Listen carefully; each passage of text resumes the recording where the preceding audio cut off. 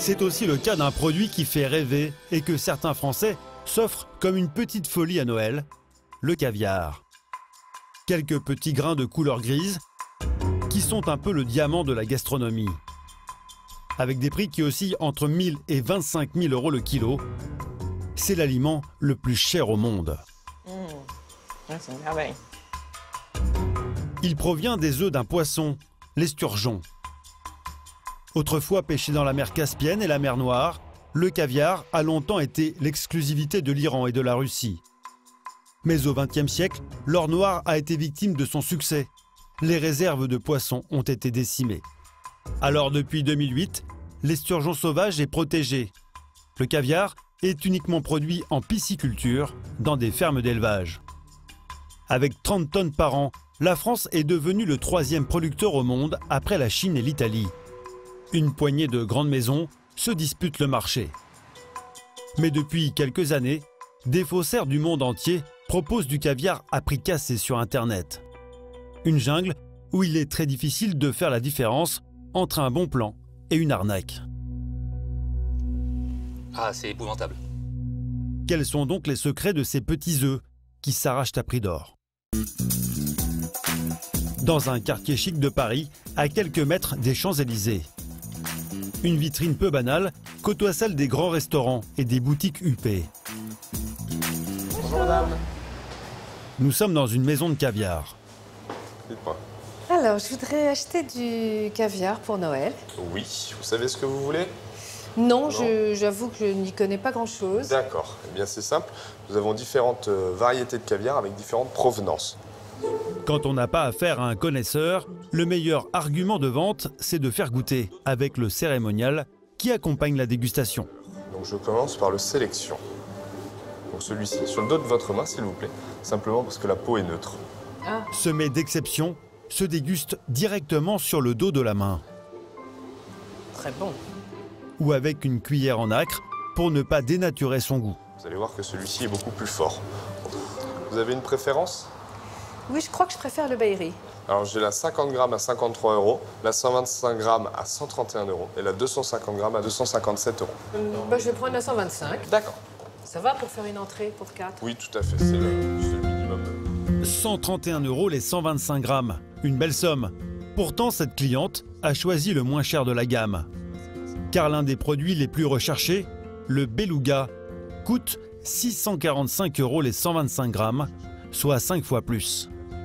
C'est à ce moment. Ça nous fera 131 euros, s'il vous plaît. C'est à la période de Noël que cette boutique réalise les deux tiers de son chiffre d'affaires. Et votre caviar. Merci beaucoup. Merci, madame. Passez de bonnes fêtes. Merci, à bientôt. Au revoir. Au revoir. Aujourd'hui, de plus en plus de clients osent franchir la porte des boutiques spécialisées. On peut déguster du caviar dans des bars comme celui-ci, Bon appétit.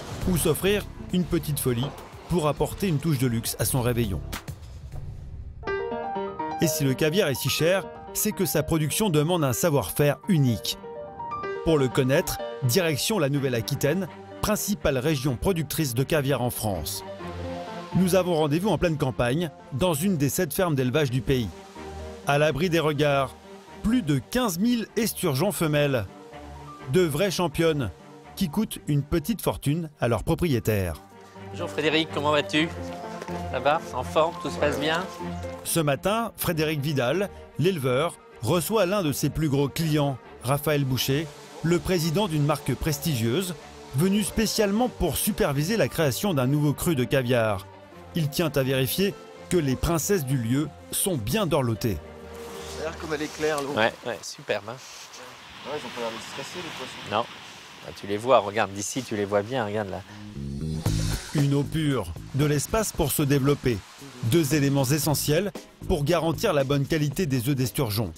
Et le plus important, une alimentation saine. Du blé, du soja et de la farine de poisson. C'est euh, c'est une alimentation euh, sans, sans OGM, sans farine animale d'animaux terrestres. Ça, c'est c'est la clé. Hein. Donc ça, c'est des aliments de cette qualité-là, on n'en trouve pas beaucoup ailleurs dans le monde. Donc on va aller voir l'échographie. Ouais. Il faut nourrir façon gourmet et bichonner chaque femelle 7 ans minimum et jusqu'à 20 ans selon l'espèce avant de récolter ses œufs. Et elle n'en fabrique qu'une seule fois dans sa vie. Alors chaque résultat positif à l'échographie est une bénédiction. Ah, ça a l'air beau, hein La poche est belle. Petit poisson, mais euh, une belle quantité. C'est la, la- taille des œufs qui nous importe. Parce que tout le travail de l'élevage a été fait depuis, depuis des années, depuis ces dernières semaines. Donc euh, maintenant, on est obligé de regarder si, si, voilà, la taille des œufs va correspondre à la qualité de caviar qu'on qu'on désire. Pour le producteur, il est temps de découvrir ce qu'elle a dans le ventre. Asphyxié au gaz carbonique, chaque poisson est étourdi avant d'être tué. C'est enfin l'instant de vérité pour l'éleveur, comme pour le client. Très peu de gras, des œufs très fermes, donc qui va aider à nous donner un- à faire un bon caviar. Aujourd'hui, la récolte est bonne, environ 400 grammes de caviar. Mais avant d'être mis en boîte, encore un long chemin. Les œufs sont séparés un par un pour enlever les impuretés. La dernière étape est cruciale, le salage, avec un sel très particulier qui donne son goût unique au caviar et permet de le conserver. Saler le caviar, salé à 4%, donc avec un sel de mine très très pur, et non pas un sel de mer. C'est absolument sans conservateur. Raphaël Boucher a commandé une recette spéciale sans conservateur. Ce caviar devra être consommé dans les trois mois. Si le client veut le conserver deux fois plus longtemps, on utilise alors un autre ingrédient qui pose question. Sachant que le conservateur, traditionnellement, est le borax, qui est, euh, qui est un produit utilisé depuis des, des- des- des centaines d'années pour la conservation du, du. Mais quel est donc ce sel appelé borax Bon, c'est une poudre blanche, hein, ça n'a rien de particulier, comme du sucre en poudre. hein. Sodium borax pulvérisé, c'est une roche hein, euh, qui est broyée, finement broyée. C'est dangereux? C'est absolument pas dangereux compte tenu de la consommation que l'on fait traditionnellement du caviar, qui représente quelques, quelques, quelques centaines de grammes par personne et par an. Il n'y a absolument aucun, euh, aucun effet. Il y a certains pays comme les États-Unis, le Japon, euh, certains pays du- de l'Asie du Sud-Est qui prennent du caviar sans borax. Plusieurs pays ont interdit le borax. En France, son utilisation est autorisée avec une réglementation stricte. Pas plus de 4 grammes de borax par kilo de caviar. C'est pour s'adapter au marché international que Raphaël Boucher commercialise 50% de caviar sans borax. Les œufs sont beaux. Avant de passer commande, il va goûter ce caviar au sel de mine qui s'annonce d'une grande finesse.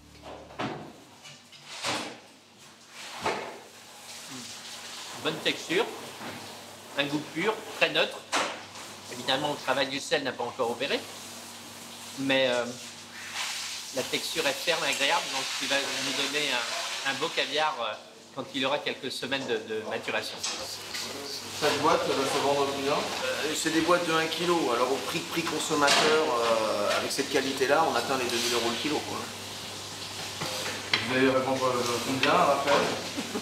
Le plus Non, cher possible. C'est le prix de vente consommateur, 2000 euros. Voilà, donc je la vends à 2000 euros. C'est le, le prix de vente consommateur. Raphaël Boucher ne nous dévoilera pas sa marge sur ce produit d'exception. Mais avant d'arriver chez le consommateur, il reste encore plusieurs épreuves à franchir. C'est ici en banlieue parisienne, derrière cette façade anonyme, que le caviar est ensuite stocké dans une véritable chambre forte dont seul Bruno, le maître caviar de la maison, a la clé. Là, je vous invite dans mon coffre-fort. Petite réserve. Réfrigéré à moins 3 degrés, des centaines de boîtes de caviar achetées à des producteurs d'Aquitaine et du monde entier. Comme pour le fromage, c'est l'étape de l'affinage. Pendant à peu près trois mois, je vais les laisser maturer. Maturer, c'est facile, j'ai rien à faire. Je reçois la boîte et je vais la retourner. Et au bout de trois mois, je vais commencer à goûter et à, me dire si c'est bon ou pas bon pour euh, commercialiser. Donc là, actuellement, je suis à 3 tonnes 6. On est à peu près à 10 millions d'euros, en gros, à la louche. hein. Le caviar, c'est toujours à la louche. À Noël, il y aura 8 tonnes de caviar dans ce coffre-fort pour une valeur de 25 millions d'euros. Un trésor pour cette entreprise iranienne créée il y a 40 ans. Elle fournit les particuliers dans sa boutique, mais aussi une quinzaine de chefs étoilés. Bon. Oh va faire la commande là. Bruno valide en personne chaque boîte de caviar. On va faire une sélection pour un chef, une sélection particulière, une couleur et une grosseur qu'on va chercher. La première chose que je fais quand j'ouvre la boîte, c'est je regarde la brillance. Et là, on peut voir qu'il est bien brillant, il reflète. Après, la souplesse. Après, l'odeur. Toujours quand on ouvre. Ça va pas sentir le poisson. Contrairement à ce que l'on pourrait penser, un bon caviar doit sentir l'iode et non le poisson. Vous en goûtez combien par, euh, par jour? Alors, je me régale euh, de 100 grammes par jour à peu près, en moyenne. Mais c'est tellement bon que je pourrais, plus- je pourrais en manger plus. 100 grammes par jour, l'équivalent de 300 euros de caviar. Bruno a le grand privilège de pouvoir déguster au quotidien un mets réservé aux plus fortunés. Comme lui, de nombreux Français rêvent d'avoir du caviar à leur table pour les fêtes, mais sans se ruiner. Alors des petits malins en ont profité pour organiser un marché parallèle sur Internet. À l'approche des fêtes, de nombreuses offres fleurissent à des tarifs défiant toute concurrence. Après quelques recherches, nous découvrons cette offre par exemple, qui affiche du beluga russe à prix imbattable. 74,80 euros les 113 grammes, c'est 15 fois moins cher que le prix habituel. Nous passons commande. En poursuivant nos recherches, nous trouvons un produit encore plus abordable, à 18,99 euros les 75 grammes. Impossible d'en savoir plus sur ce supposé caviar d'origine espagnole. Nous prenons une boîte. 15 jours plus tard, voici nos deux produits emballés dans des enveloppes standards. Manifestement, la chaîne du froid n'a pas été respectée, mais ce n'est pas tout.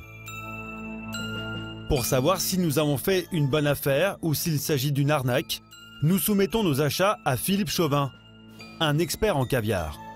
Alors, donc le premier, c'est un succès d'année de caviar, au moins c'est indiqué, hein, enfin c'est en espagnol, mais succès d'année de caviar. Euh, les ingrédients, premier ingrédient l'eau, deuxième le sel, après le jus de citron. Alors, on va ouvrir. Donc déjà, quand j'ai ouvert, il n'y avait pas de sous-vide, c'est un peu inquiétant. Et maintenant, on va goûter. Alors, ça n'a pas du tout la- la- l'aspect d'un œuf, hein. c'est c'est rond, mais ça se limite euh, à ça.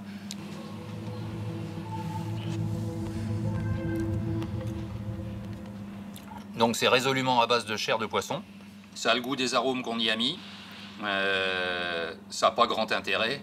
Euh, euh, on va dire que c'est décoratif. C'est de la chair de hareng euh, micronisée avec des alginates. Donc c'est une technologie comme le surimi. Ça a un petit goût de caviar quand même Non, absolument pas. C'est plutôt un goût fumé, euh, un goût de charcuterie. Si vous l'avez payé moins d'un euro, euh, ça va. Voilà. C'est tout ce qu'il y a à dire. L'expert est sans appel. Notre boîte, achetée presque 19 euros, ne contient pas de caviar. Et ce n'est pas par hasard qu'elle nous a été envoyée d'Espagne. En France, l'appellation caviar concerne uniquement les œufs d'esturgeon. Mais dans les autres pays, ce terme désigne tous les œufs de poisson. Certains revendeurs étrangers profitent de cette confusion pour écouler leur préparation en France. Alors qu'en est-il de notre beluga de Russie? De toute manière, caviar russe, beluga, c'est impossible puisqu'il n'y a pas de ferme agréée euh, qui puisse exporter de Russie vers l'Union européenne. À mon avis, c'est pas du tout du caviar. Voilà. Je vais en prendre juste un tout petit peu, si vous le permettez.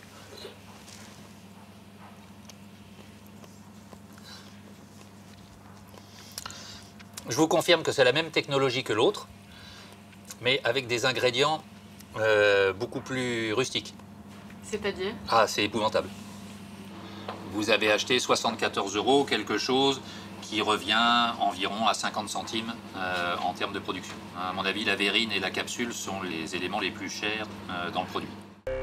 Effectivement, en faisant traduire l'intitulé de l'emballage, nous avons découvert qu'il était écrit en blanc Merveille russe et juste en dessous en petites lettres Imitation de caviar d'esturgeon. Pour déceler cette petite combine, il aurait donc fallu parler russe. La meilleure solution pour échapper au piège reste donc d'acheter son caviar auprès des célèbres maisons qui ont pignon sur rue, quitte à casser sa tirelire. C'est ce que font les chefs des grands restaurants.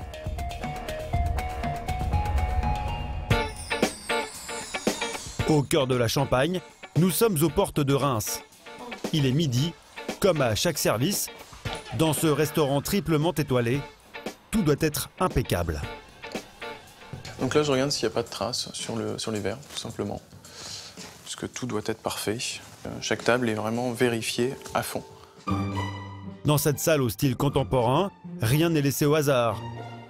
Du champagne et pour l'ambiance, un feu de cheminée. En cuisine, c'est le coup de feu pour les 15 commis et leur chef. Sarche, 4 couverts, 4 émotions avec cèpes, crevettes, caviar, homard, Saint-Pierre, curry et tourte.